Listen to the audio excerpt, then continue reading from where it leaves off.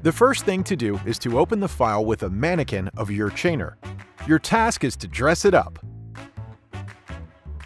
We have three layers to work with.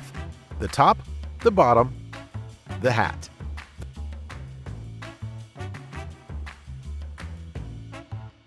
Let's start with the top.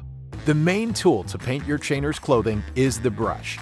Choose the color you need and start creating your chainer's torso. Please note that you can only paint the chainer's body for this layer, so don't use the attach or erase buttons. Don't forget about the inside parts of the torso.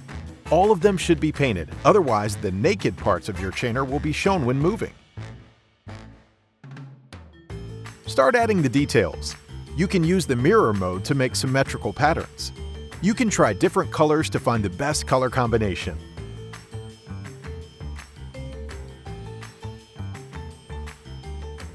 Let's get to the arms. Please note that you can't add 3D elements here either. Don't forget to paint the inside parts of the arms also.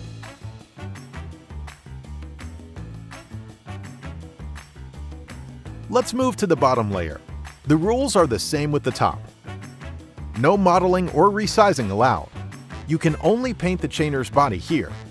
So please choose the paint button only when using the brush tool. All the edges of the bottom layer should be painted as well. Paint the legs and the boots.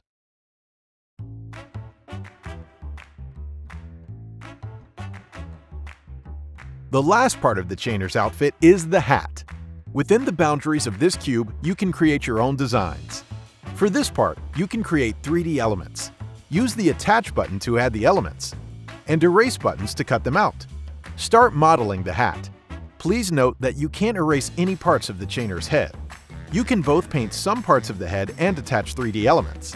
Add some details, but try not to add too many of them in the facial zone. It's time for the final touches. Experiment with colors and choose the best option for your outfit.